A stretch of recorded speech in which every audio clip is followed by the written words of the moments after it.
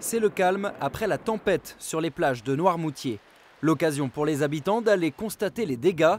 Ici à la Guérinière, la dune a encore perdu du terrain, près de 10 mètres par endroit depuis le début de l'hiver. Moi, j'ai jamais vu, euh, depuis que je suis ici, euh, euh, les, cailloux et les, pavés aussi apparents. Ça vous inquiète? Alors ça m'inquiète un peu, oui, comme tout le monde, quand on est juste derrière, effectivement. Mais bon, ceci étant, quand tu discutes avec les anciens, ça, ça, non, ça les inquiète pas plus que ça, en fait. parce qu'apparemment, le sable peut revenir. voilà, c'est une évolution naturelle quelque part.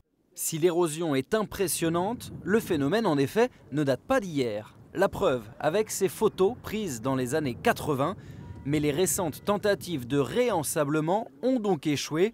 Retour à la case départ. Le sable est revenu, donc ça a permis qu'il y ait une création d'une vraie dune. Euh, et puis bah, en ce moment, c'est en train de repartir. Voilà. Donc c'est vrai que c'est des cycles. On préfère voir le sable revenir plutôt que partir. Aujourd'hui, le sable a tellement disparu que des ouvrages du 19e siècle refont surface. Il faut donc entamer des travaux en urgence. On va venir renforcer les endroits euh, qui ont été découverts suite à la tempête, les anciens ouvrages notamment, et qui ont un rôle de protection des bâtiments, des habitations qui sont en arrière. La zone est donc placée sous surveillance. Une étude va également être lancée pour mieux connaître le phénomène d'érosion sur le littoral de Noirmoutier.